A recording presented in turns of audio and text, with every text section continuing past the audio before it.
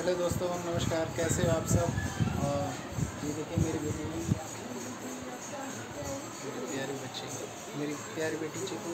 और ये दो दिन से इनकी तबीयत ख़राब थी। और देखो आप, नहला दिया गया है तो सो गए हैं। और अब देखिए, जा रहे हैं खाना खाने तो आपको दिखाता हूँ।